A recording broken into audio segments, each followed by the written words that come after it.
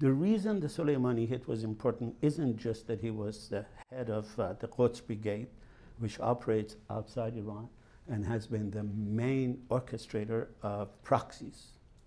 Uh, the reason I think it was important is he has a very unusual place in the minds of many Iranians. He has an absolute unique relationship with Khamenei.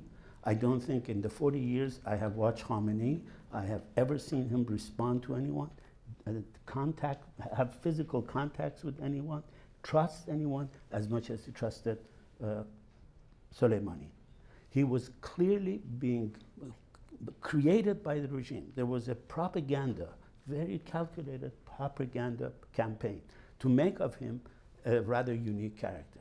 They talked about him as a Napoleon, they talked about him as a poet, they talked about him as a mystic, they talked about him as the son of the leader. So they had created from him a kind of iconic figure. Uh, and while the IRGC is despised in the minds of the majority of Iranians for being the tools of suppression, most of what uh, Soleimani had been doing had been outside, had been outside Iran fighting ISIS, had been outside Iran uh, fighting Saddam Hussein in 1980 to 88. So he had a different cachet in terms of the Iranian uh, position and the Iranian psyche.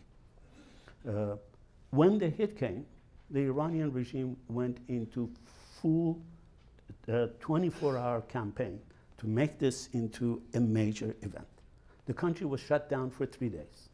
Iranian television and radio was constantly uh, talking about him, showing films that attracted, appealed to emotion.